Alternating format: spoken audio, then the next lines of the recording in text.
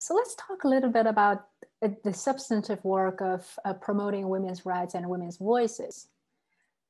You talked a little bit um, about it throughout um, our interview about many of the different issues that women face that other minority groups face, including um, within international institutions. So, if you have to pick one most important issue faced by women for you at this moment, what would that issue be? And how does your current work attempt to address this or um, intersect with this issue? Yes, you, you know, when I when I heard that question, you know, my mind went to, you know, where are the gaps? Um, where are there serious violations? But at the same time, I think of one of the the things I've said often to myself, more than anyone else, and sometimes aloud, um, that I want to know what are our as women's imagined lives. What do we see as our possibilities? Um, so I recognize that the harms we face are debilitating, and I have worked around many of those harms. And certainly in my part of the world, the combined impact of violence, poverty, conflict um, have certainly damaged women's ability to choose, um, to have, as we would say in the inter-American system, their own life project. Uh, but increasingly for me, it's less the issue and more the empowerment or voice. And I think in the end, what has been most value for me, valuable for me is the possibility that the work you do, regardless of the topic, can contribute to women's empowerment. Women's increased ability to decide for themselves and to have more of what they wish for their lives possible. Uh, and, um, you know, I think of the work which we did over a decade with trans women in Guyana who faced um, criminalization um, in the Georgetown area. Um, and of course, um, unending discrimination in the health sector, in the educational sphere, um, in housing, um, in simply walking on the streets. And I thought a lot about not simply the work we did, but how alongside us, they created their own movement and community of activist work, um, which sometimes coalesced with ours, but certainly developed its own agenda separately from us. I think far more important than the litigation we did, which did end up before the highest court of appeal in the Caribbean, the Caribbean Court of Justice, a successful outcome, an important one, was that empowerment.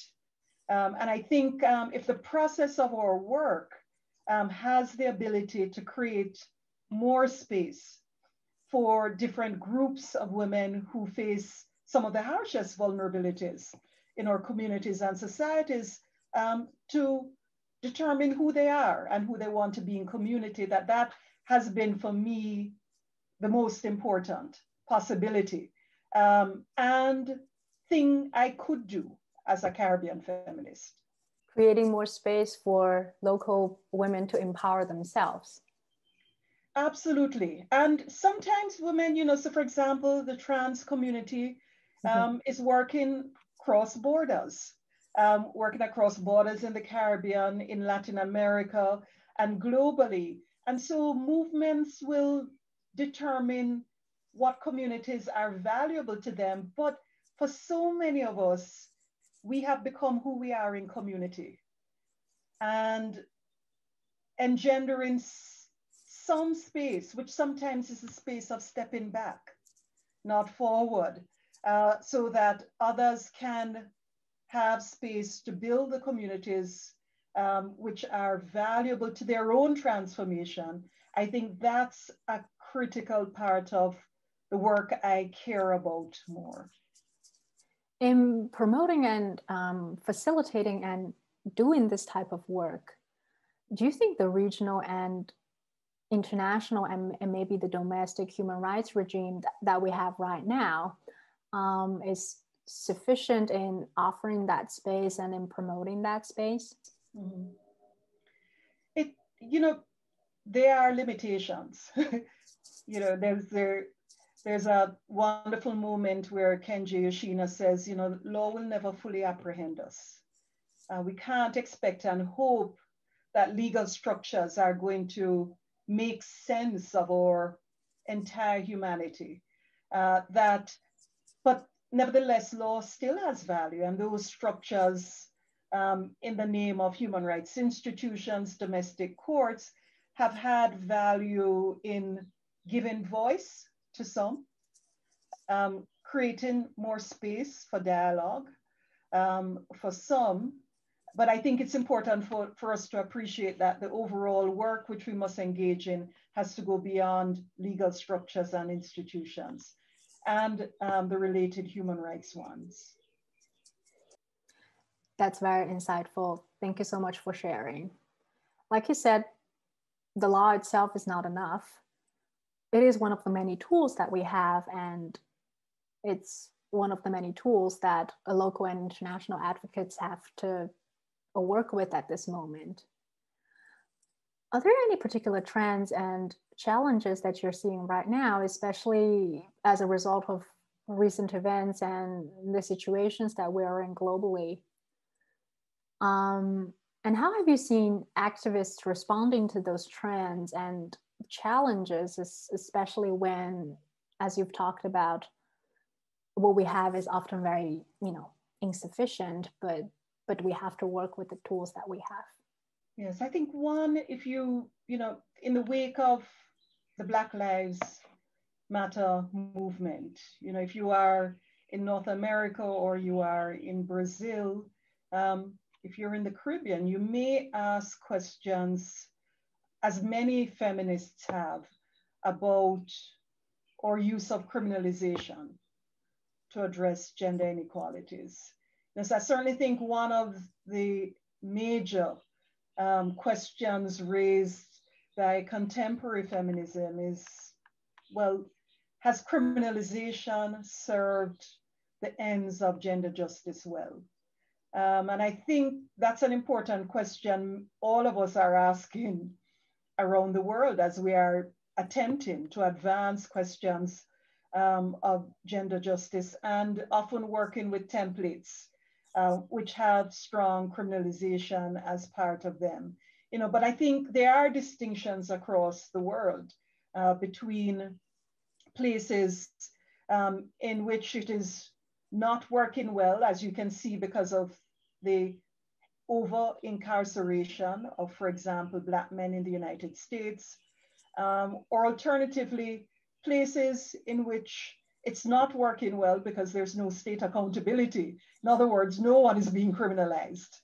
Um, and I think there's a need to think a little bit more about how the debate um, takes shape in different parts of the world, where the criminalization issue is one um, which has materialized um, in forms of incarceration which are uh, deeply, deeply unequal and racialized, and other places um, in which the state um, does little or nothing. And I'm not suggesting these are entirely different spaces or no overlaps between them, um, but the criminalization debate, I think, uh, forces us to ask how is law working in diverse spaces? And I don't know the answer to that.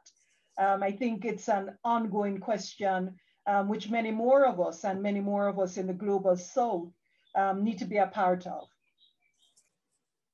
That's definitely one of the issues that many members of our student community are, are working on and are uh, caring about deeply, not just in the United States, but also um, in, in other countries and regions.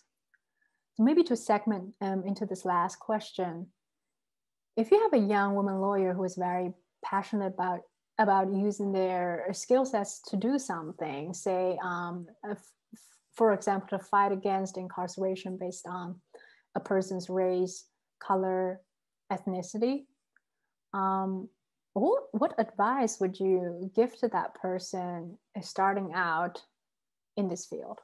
It might be to say that it is a surprisingly hierarchical, or perhaps not, hierarchical field. Um, so if you are junior, you're going to walk into spaces where seniority means something. And I would say, despite those hierarchies, um, certainly in some cases, one has to contest and challenge uh, the ways in which those are those hierarchies are detrimental um, to you as a young professional. But the advice I'd give is the advice I gave earlier. And it is to focus not only on who you work for, but who you work with. Um, building vibrant, long lasting communities, diverse communities of persons who share your goals, but don't have the exact same ideas as you, who through your joint and collective initiatives and efforts, um, you can see your way from one challenging moment to another, um, from one opportunity to another. Um, folks who will be supportive of you, who will guide you, um, but will be with you in what for many will be a lifelong project of work. And to listen and to observe, but also to take space when it's necessary. Absolutely. And sometimes when you're listening and observing, you might be talking separately to your community and receiving guidance and wisdom. Uh, so the space of listening is a dynamic space. It's, um, it's not a static space of absolute um, silence and non-movement. It is one in which one takes care in one moment, in one place, and learns from another. Um, one speaks in one space and makes noise as sometimes one has to make noise. Um, and one carefully works through and determines what strategy and action you take in another. Strategic work um, often requires thoughtful, quiet moments as well. Thank you That's so much. From a quiet person. Thank you so much for these insights, uh, Ms. Robinson. I'm sure you know our students, but also our broad readership will find your your experience, your insights, and particularly your advice extremely helpful. Just like I have found them extremely helpful. It's been a pleasure, and thank you so much.